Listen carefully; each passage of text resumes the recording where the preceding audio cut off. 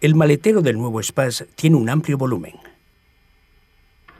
En la versión de cinco asientos, el volumen que hay bajo la tapa del maletero es aún mayor, mide 660 decímetros cúbicos. Para enrollar la tapa del maletero, tire despacio del asa para desacoplarla y acompáñela en su movimiento.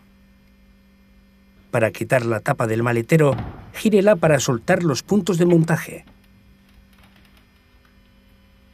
Para volver a encajarla, coloque la tapa del maletero en sus fijaciones y tire del asa para volver a ponerla en su sitio. Se puede colocar la tapa en el maletero usando las tiras de autoabrochado proporcionadas para ello.